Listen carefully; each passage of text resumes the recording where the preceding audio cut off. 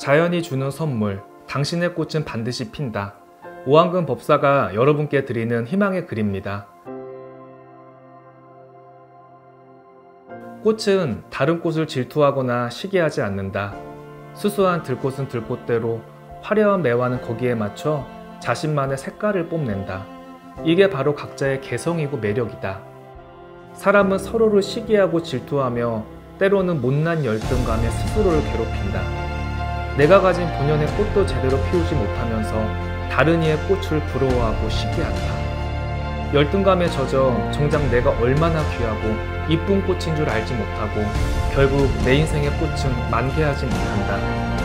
봄에 꽃을 피우기 위해서는 한겨울에 모진 추위와 바람을 견뎌낸 나무만이 전성기를 맞이하고 내 유전적인 씨앗이라는 종자를 남길 수가 있다. 하찮은 자연이라 할 것이 아니다. 자연은 이토록 사람의 인생과 똑같고 어찌 보면 한 송이 꽃보다 나약한 것이 인간이더라. 들꽃은 바위 틈 몇 알의 흙에서도 강인한 생명력을 갖고 작은 꽃을 피워낸다. 주어진 조건이 아무리 어렵더라도 살아낸다는 일념만 있으면 못 이룰 것은 없다. 나는 금수저, 흑수저라는 말 따위를 제일 싫어한다. 부모가 열 달을 품어 나를 낳아주셨으면 그것만으로 천운이고 금수저인 것이다. 아무리 재산이 많고 부모의 뒷받침이 좋아도 인생의 성공을 죽을 때까지 장담하지 말아라. 비록 어려운 환경에 처했지만 굴하지 않은 의지와 집념으로 말년에 화려한 꽃을 피우는 사람이 있으며 젊었을 적 초년 성공으로 온갖 부러움을 갖던 사람도 말년에 비참한 최후를 맞이하는 것도 봤다.